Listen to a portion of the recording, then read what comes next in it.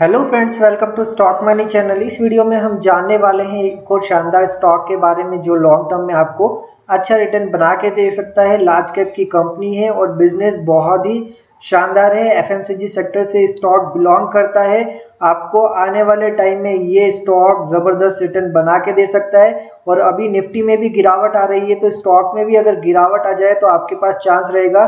ज़्यादा से ज़्यादा क्वांटिटी ऐड करने के लिए जितनी ज़्यादा क्वांटिटी ऐड कर पाओगे, उतना ही बड़ा रिटर्न आपको लॉन्ग टर्म में मिल सकता है। तो इस वीडियो की में हम इस स्टॉक के सबसे पहले फंडामेंटल्स देखने वाले हैं कि फंडामेंटली कितना स्ट्रांग है। स्टॉक फिर नाम जानेंगे, वो चार्ट पर जानेंगे कि कौन सा लेवल है, कौन सा बाइंग जोन है जहाँ पर हम स्टॉक में ज़्यादा से ज़्यादा क्वांटिटी ऐड कर सकते हैं। तो सबसे पहले देखते हैं मार्केट कैप तो मार्केट कैप देखिए, तीन लाख छिहत्तर हज़ार चार सौ इक्यानवे करोड़ का है करंट प्राइस जो चल रहा है, एक हज़ार सात सौ उनचालीस रुपए का बना है, बावन वीक हाई जो है, एक हज़ार आठ सौ सत्तर का बनाया था, बावन वीक लो बनाया इसने, एक हज़ार चार सौ सितर रुपए का डिविडेंड अच्छा देती है कंपनी एक पॉइंट छब्बीस परसेंटेज का तेरह रुपए का तो पर शेयर डिविडेंड ही दे देती है कंपनी फेस वैल्यू वन की कंपनी है डेप टू इक्विटी रेशियो देखे तो ज़ीरो है, और टोटल कर्जा कंपनी के ऊपर ज़ीरो है, यानी कि कर्जा है ही नहीं कंपनी के ऊपर। ऐसी कंपनी में अगर सेल्स ज़्यादा होगी तो अच्छा जो है, आपको भी प्रॉफिट होने वाला है, आपके शेयर का प्राइस अच्छा बढ़ने वाला है, और लॉन्ग टर्म में आपको बहुत अच्छा रिटर्न दे जाएगी ये कंपनी।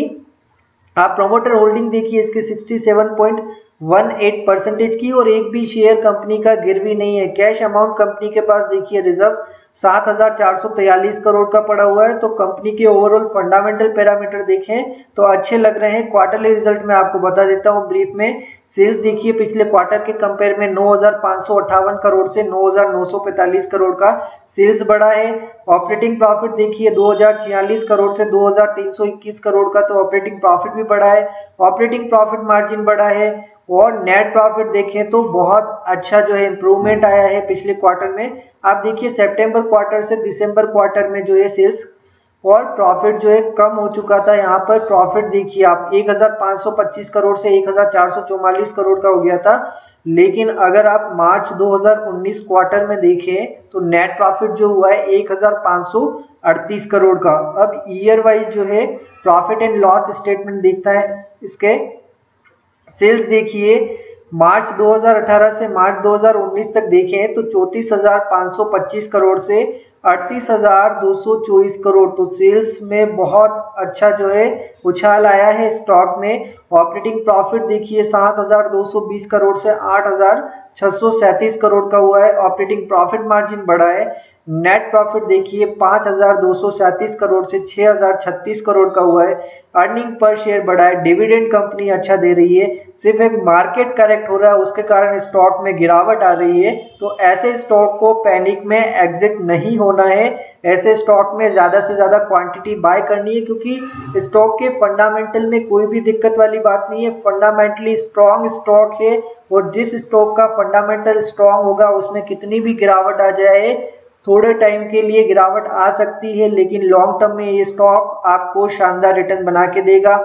अगर लास्ट 10 साल का ट्रैक रिकॉर्ड देखें अगर तो आर देखिए 86 परसेंटेज का मेंटेन किया है तो कितना शानदार जो है आर है फिर देखिए आप इसका बैलेंस शीट देखिए रिज़र्व देखिए सात हज़ार चार सौ तैयलीस करोड़ का रिज़र्व से कैश अमाउंट पड़ा हुआ है।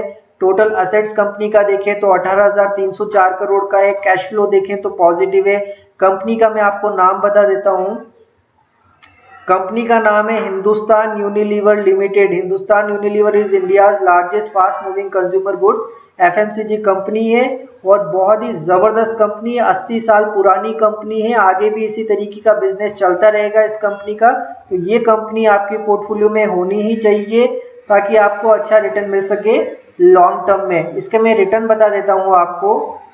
रिटर्न देखिए 10 साल में पाँच परसेंटेज का रिटर्न बना के दिया है। पाँच साल में डबल से भी ऊपर जो है इसने रिटर्न बना दिया है और आप यहाँ देखिए आनंद राठी ने जो है 11 जुलाई 2019 को देखिए टारगेट कितना दिया है 2250 का, लेकिन ये स्टॉक तो लॉन्ग टर्म में इससे भी ऊपर जाने वाला है तो पैनिक नहीं करना है।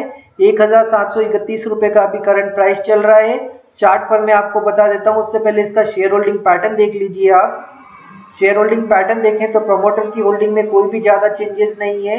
एफ़ की होल्डिंग देखें अगर तो बड़ी है म्यूचुअल फंड की होल्डिंग बड़ी है तो शेयर होल्डिंग पैटर्न में कोई भी दिक्कत वाली बात नहीं है। दो सौ तिरानवे म्यूचुअल फंड ने पैसा लगा कर रखा है और एक हज़ार तैतीस एफ़ का पैसा लगा हुआ है। आप सोच सकते हैं कितना बड़ा पैसा जो इस स्टॉक में लगा हुआ है। कंपनी का अगर सीवी देखें हम तो तेरह रुपए का डिविडेंड देती है और अपनी इंडस्ट्री में नंबर वन कंपनी है।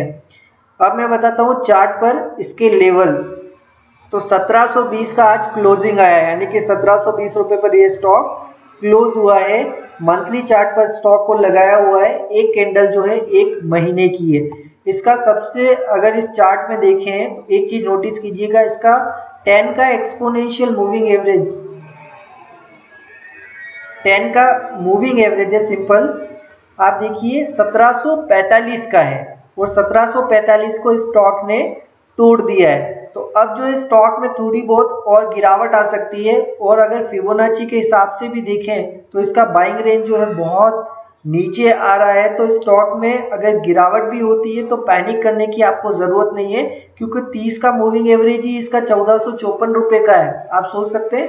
तो चौदह से लगाकर अभी जो आपका करंट प्राइस है 1720 ये आपके लिए बेस्ट बाइंग जोन है और मंथली चार्ट के हिसाब से मैं आपको सपोर्ट बता देता हूँ। स्टॉक में और गिरावट आई तो आप देखिए सोलह तक ये स्टॉक आ सकता है। वहाँ पर आप ज़्यादा से ज़्यादा क्वांटिटी ऐड कर सकते हैं।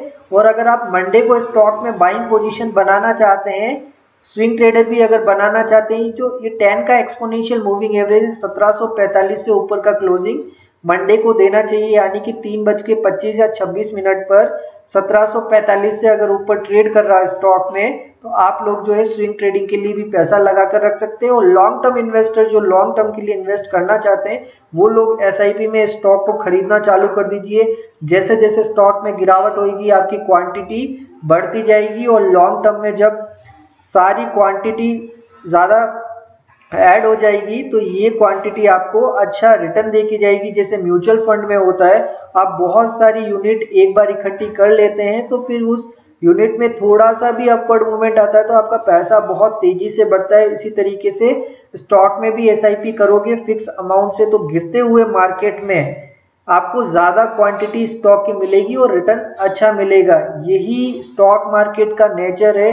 अगर गिरते हुए मार्केट में एक अच्छे स्टॉक में एसआईपी मोड में बाय करोगे तो आपके पास ज़्यादा से ज़्यादा शेयर ऐड होंगे ताकि आपको लॉन्ग टर्म में रिटर्न ज़्यादा मिलेगा। आई होप आपको हमारा वीडियो अच्छा लगा होगा। अगर वीडियो अच्छा लगा हो तो लाइक कर दीजिए। चैनल को सब्सक्राइब कीजिए। बेल आइकन को क्लिक कीजिए, जिससे आपको हमारे आने वाले वीडियो सबसे पहले मिल सके। अपने फ्रेंड्स को ज़्यादा से ज़्यादा शेयर कीजिए। Thank you